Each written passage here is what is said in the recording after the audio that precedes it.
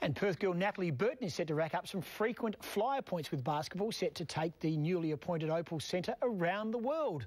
Steve Allen reports.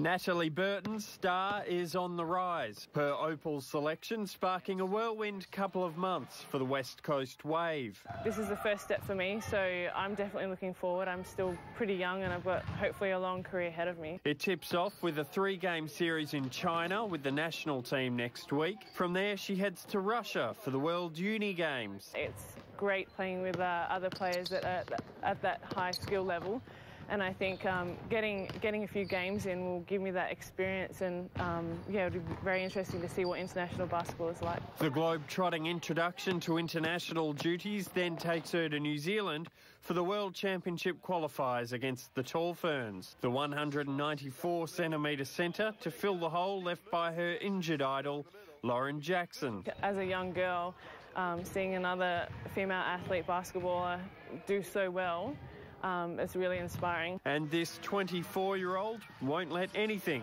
stand in her way. I'm just, you know, focused on basketball right now. It's my priority, so everything else can, can wait these few months. It's such an awesome opportunity. I'll sacrifice anything for this. Steve Allen, 10 News.